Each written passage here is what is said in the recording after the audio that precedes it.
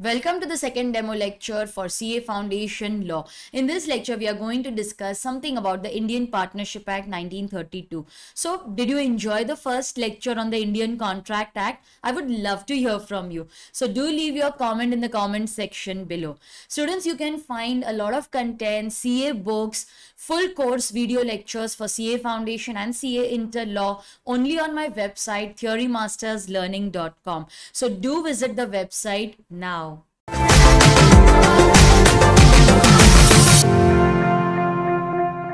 Let us discuss the Indian Partnership Act 1932. Now students, this is one very interesting act and you will find it in CA Foundation as well as 12th standard. In 12th, uh, only a part or an introduction is covered in maybe OC or you have it in accounts also, accounting for a partnership firm. But in, in the CA Foundation law syllabus, the entire act is discussed in detail. The weightage of this chapter will be somewhere around 10 to 12 marks. So like I, I always say 8 to 12 marks, a wide range uh, should always be considered. And 3 to 4 questions will be asked from this act. So let us discuss something about the Indian Partnership Act 1932 with the help of an example. Now Mr. Sagar, okay, he is Sagar. So he has just cleared uh, the relevant examinations and he wants to start some business in computers. So he like decides on what kind of business is suitable for him. He doesn't want to do the business alone because he knows that he will not be able to manage everything on his own. So he thinks of his senior, Pranav. He and Pranav, they were very good friends. And after clearing college, Pranav started working in an organization but Sagar always wanted to do something on his own. Now he doesn't want to do it alone. So he thinks of his friend Pranav and approaches Pranav. He calls up Pranav and says, Let's meet for a cup of coffee. When they meet, Sagar proposes to Pranav that I wish to start my business and I don't want to do it alone. I've just cleared college, I don't have that much experience. You are my senior, and you know, we have always been in touch throughout the college, so I know your style of working and it is very similar to mine. Why don't we start a business together? Pranav says it's a very good idea. Anyways, I wanted to quit my job and do something on my own. Let's do this thing together.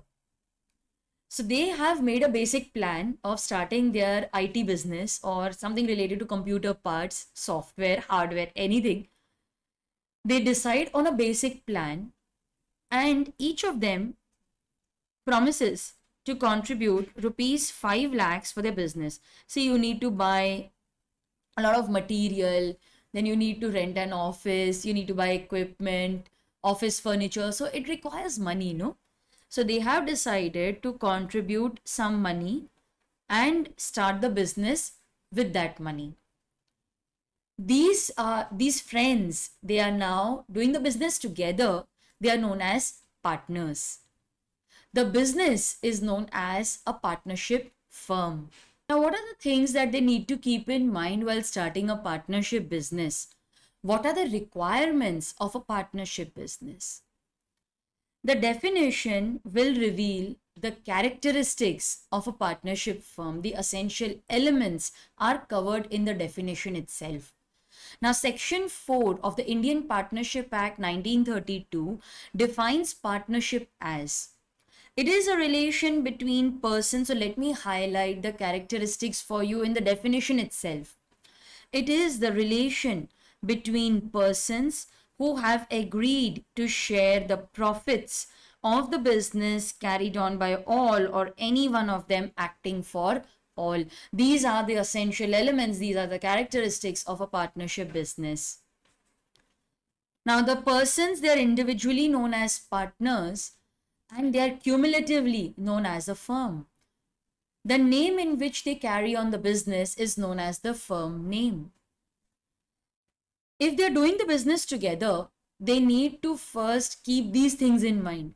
There is some kind of relation. It means that there is a contract. See, they are agreeing to do business together. They are entering into a contract. There is a relation between these parties. So the first element, the first essential element is that there must be a contract. See, it may be in writing, it may be oral, but law says that you both should agree to do business together. Sometimes it is expressed, sometimes it is implied, but there has to be some kind of agreement, some kind of an arrangement.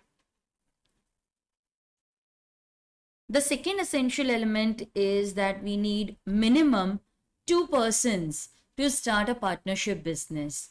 Okay, so minimum two persons required. If you're doing the business alone, then it is proprietary business. But when you're doing the business together, okay, two or more persons are doing business, then yes, it can be termed as a partnership. What is the maximum limit? What is the maximum number of partners? Maximum, we can have 50 partners, okay? But what if I want to have more than 50 partners? Then you cannot do business in partnership. Instead, you will have to incorporate a company. You will have to convert this partnership into a company. Law does not want unincorporated large bodies carrying on partnership business. Now, another thing that is worth note worth uh, discussing that registration of partnership is not compulsory except in Maharashtra. So the act does not mandate registration of partnership. Even if the partnership firm is not registered, it will still be a valid business. But the state of Maharashtra requires registration. So in, in case you're doing business in Maharashtra, your partnership firm has to be registered. In CA Foundation, there is a separate unit on registration and dissolution of partnership. So we will be studying that also. So you can have maximum 50 partners. Okay, the third element is that there must be an agreement. Man, but you've already written that there must be a contract. Yes, they must agree to do business together, but there is also another requirement of partnership deed. Now, this partnership deed actually lists the rights, the duties of the partners, the place of business, the capital contribution of partners, the profit sharing ratio, everything related to the partnership business. Now, why is this deed prepared? This deed is prepared to list down what are the rights, the duties, and other essentials of partnership. What if there is a dispute? So, this partnership deed will be referred to in case of disputes. It can be oral it can be in writing, but writing is always preferred because it is a proof. Okay, it is always an evidence in the court of law. So in case of disputes, it is very easy to prove if the if the partnership deed is in writing. The next element is that they must agree to share profits. In what ratio? In the profit sharing ratio. There must be sharing of profit. So I will take sharing also over here. There must be sharing of profit. In what ratio? In the profit sharing ratio. But what if the profit sharing ratio is not mentioned in the deed? Then in that case, it will be shared equally. Okay, in that case, it, the profits will be shared equally. Sharing of profit also includes sharing of losses. There is no separate loss sharing ratio. The ratio in which we share profits is the same in which we will share loss also. See, sharing of profit is one essential element. It is not one of the most important element. It is one of the elements of partnership. If let's say, for example, I keep the entire profit and I give you salary, we are not partners, we are employer and employee. There will be partnership relation only when there is sharing of profit. There must be business. This is another element of a valid of a valid contract of partnership. There must be business. No business, no partnership. Now why? See, only if there is business, we will earn profit and ultimately share that profit. If there is no business, there is no sharing, there, there is no sharing of profit. So no business, no profit, no sharing, no partnership. There has to be a legal, a lawfully run business a profit making business okay not just any business a profit making business and the last and the most important element is that business may be carried on by all or any one of them acting for all. This is nothing but the element of mutual agency. Mutual agency. Now, mutual agency means that partner is principal as well as agent. Every partner plays double role. Sometimes he is principal, sometimes agent. Now, let's say that A, B, C, they are three partners. A has purchased goods from X. What if he has used goods for the firm, but he fails to pay money? Can X recover money from B and C?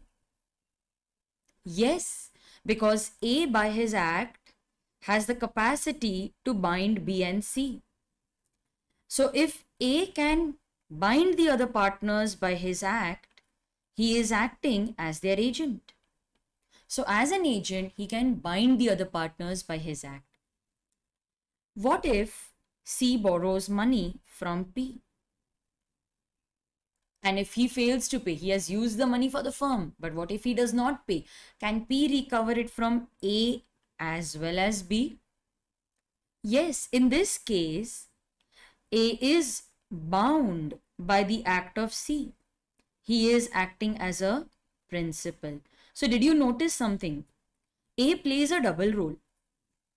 Sometimes he is acting as an agent by binding the other partners by his act. Sometimes he is acting as the principal by being bound by the act of others. This is the concept of mutual agency. So mutual agency means that partner can bind as well as be bound by the act of other partners. When we combine all these six elements, then we get a partnership. Now, mutual agency is one of the most important elements of partnership. If there is mutual agency, they are partners. And if there is no mutual agency, they are actually not partners. Sharing of profit is just one of the elements.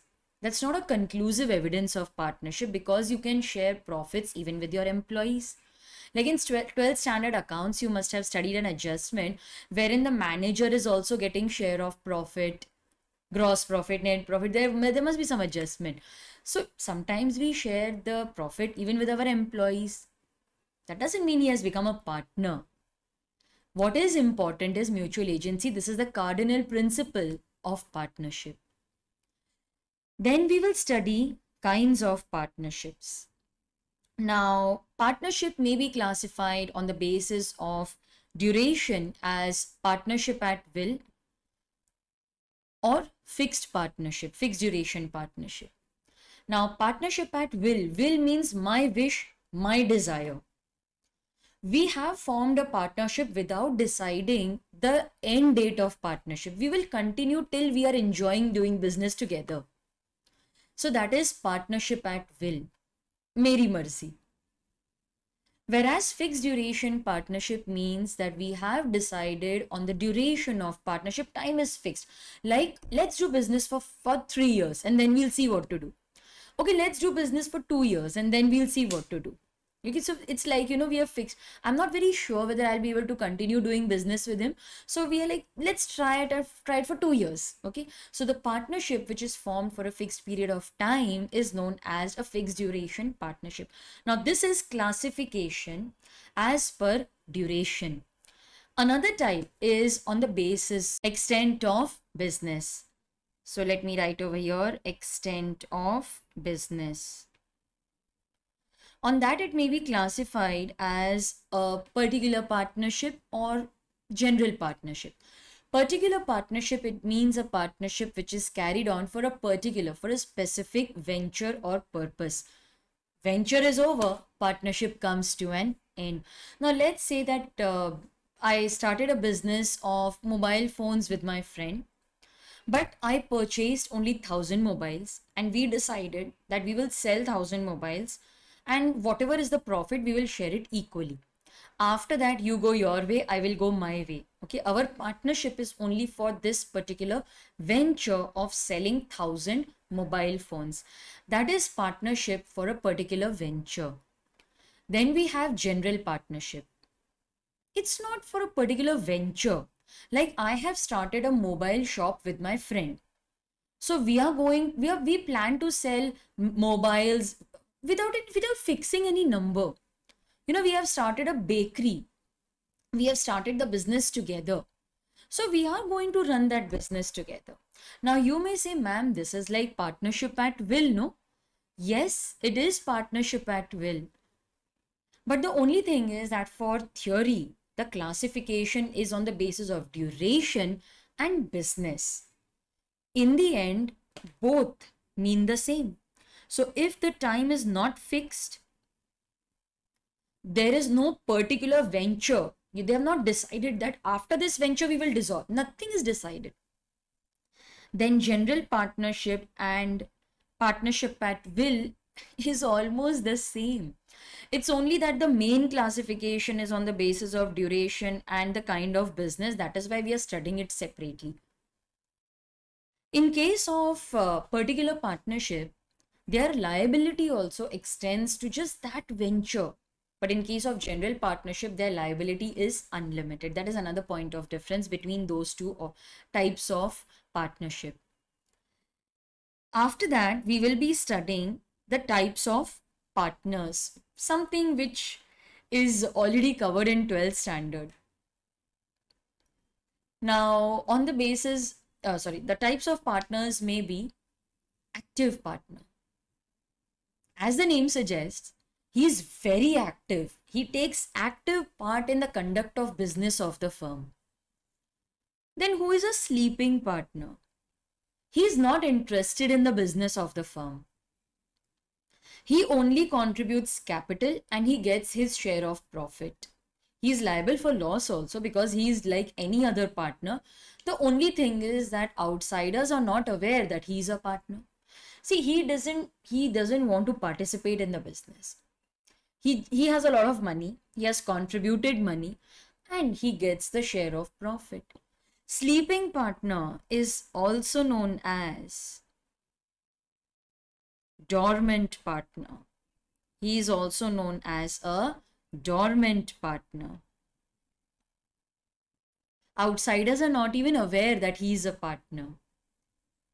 Then we have nominal partner. He lends his name only without having any real interest in the business of the firm.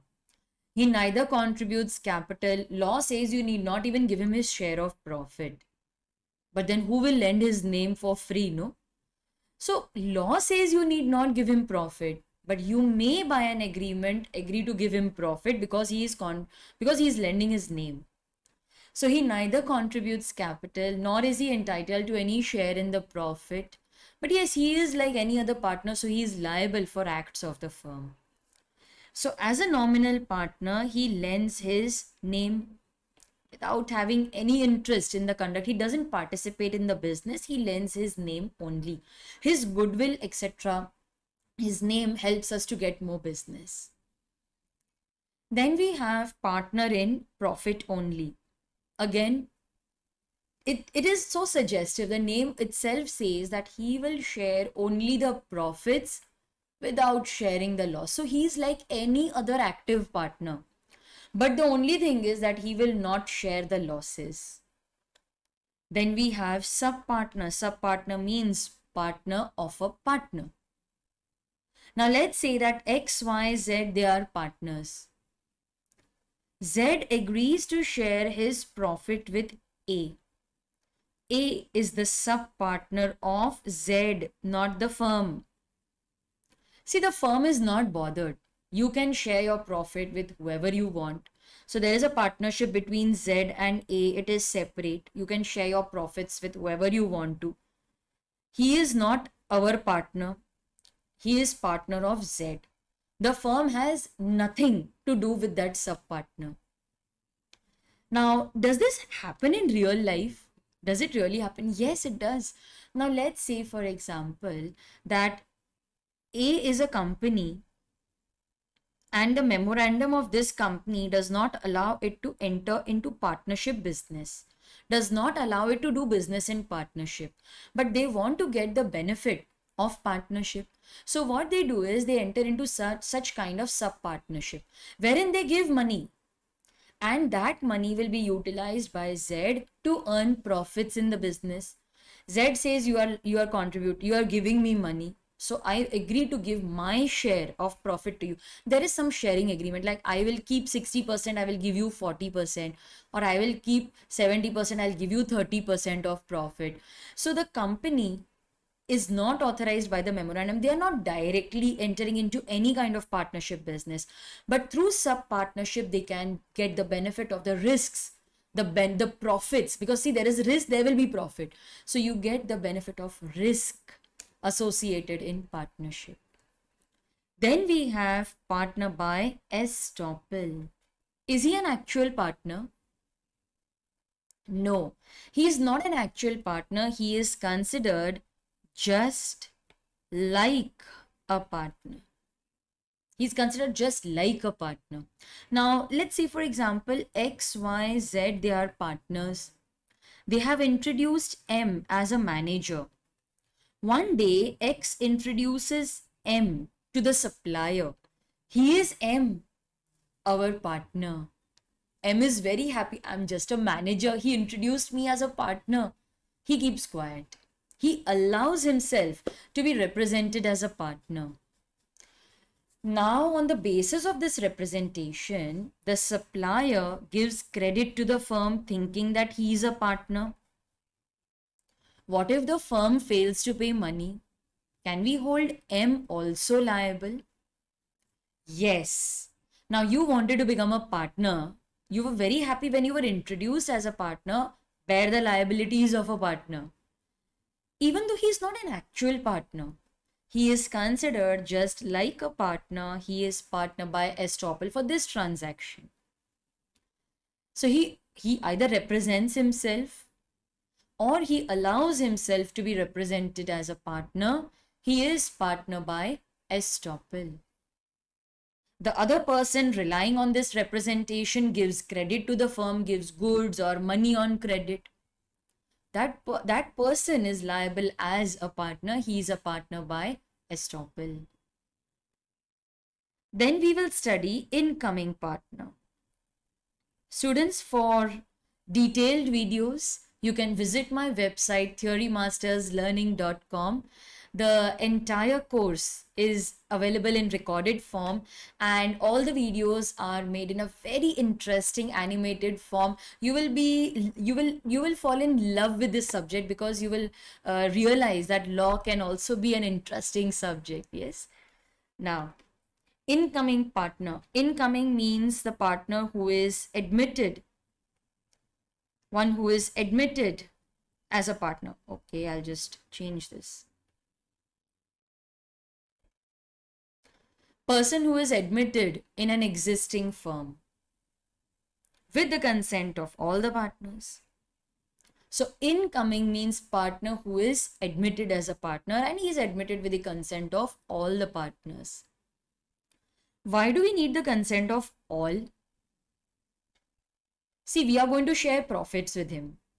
So we need the consent of all the partners, right? Outgoing partner. Who is an outgoing partner? Outgoing partner means someone who leaves the firm wherein others continue the business. So can be a retiring partner. Yes, he's a retiring partner. So partner who leaves the firm in which others continue to carry on the business is known as an outgoing partner. What if we admit minor as a partner? Can we do that? Minor partner. If a basic question is asked in the exam, you will say no. Minor cannot be admitted as a partner. Why? He's a minor. See, partnership is the result of an agreement. We require an agreement, right? We, that was the essential element. See here. That was the essential element. We need a contract. Can minor enter into a contract? No, no. Wait, wait, wait. I know you must have studied something in 12th standard. Wait. Minor is incapable of contracting. So he cannot become a partner. Any agreement with minor is void ab initio.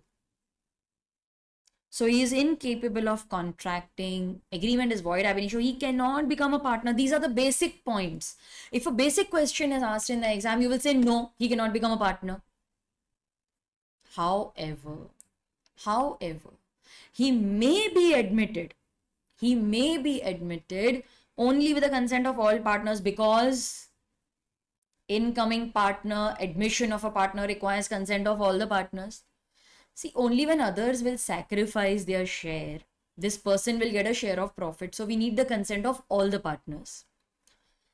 So minor can be admitted only with the consent of all the partners and and and if the admission is for benefit of the firm for the benefit of the partnership. So yes, we may sometimes admit minor as a partner, but only if the admission is with the consent of all the partners and it is for the benefit of the firm. We have formed the partnership, but um, after a few months, we realized we can't do business together. It's impossible for us to work together. So, what should we do? Let's close the business. Knowing a person and working with a person is very different. Sagar, do you remember Sagar? Yes. Sagar realized that he cannot work with Pranav. Pranav is very laid back. He was good as a colleague, he was good as a friend, but not as a partner. So now they have decided to dissolve the firm. Now, dissolution may sometimes be only of partnership or sometimes it may be dissolution of the firm. Now, what is the meaning of dissolution of partnership? Let's say, for example, X, Y, Z, P, Q, R, they were partners. R died and Z retired. There is some change in the partnership relation. Earlier, there were one, two, three, four, five, six, six partners. But now there are only four partners. So there is some change in the partnership relation. Business has not come to an end, only their relation has undergone a change. This is nothing but dissolution of partnership. There is a change in the existing relation of partners, or maybe there is a change in the profit sharing ratio. This is dissolution of partnership. Then, what is dissolution of the firm? When the business comes to an end, when they decide to close shop, everything asset will be sold, liabilities are paid off, whatever is the surplus that is distributed among the partners. This is dissolution of the firm. So dissolution of the firm means dissolution of partnership between all the partners. All is the hint. There is dissolution between all the partners of the firm. The business comes to an end. Assets are sold. Liabilities are paid off. Surplus is any is distributed among the partners. This is dissolution of the firm. No business continues. Everything comes to an end. Now that they have decided to dissolve the partnership, they will sell the assets, they will pay off the liabilities. So, how will the accounts be settled? Law says that first you utilize the profits that you have got by selling these assets. Whatever profits, first you use that to pay off the liability. So, these are actually sources of money. From where will you get money? You will get it out of profit. So sell the assets and pay off your liabilities. So sell the assets, you get money. But that got over. Use the capital, no? That also got over. Then ask the partners to bring money. Anyways, their liability is unlimited. They are personally liable. Their personal assets are also liable. Ask them to bring money from their personal assets.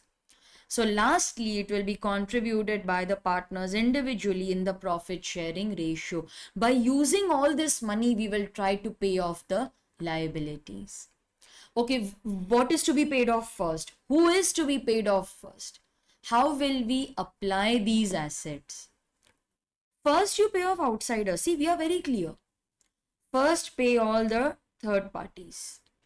Then whatever is remaining, use that to pay the partner's loan because for loan partner is treated just like an outsider. Then you will pay off partner's capital. And in case there is any surplus, that will be shared among the partners in their profit sharing ratio. So let us revise this and then I will show you how to apply this in an example. what are the sources of money? From where will you get money to pay off your liabilities? We will first use profits. That is over. Then use capital. After that, you will ask the partners to bring money in their profit sharing ratio. Okay. Firstly, we will pay off the third party. Then you will pay off partner's loan because for loan partner is treated just like an outsider. Then we will pay off the partner's capital.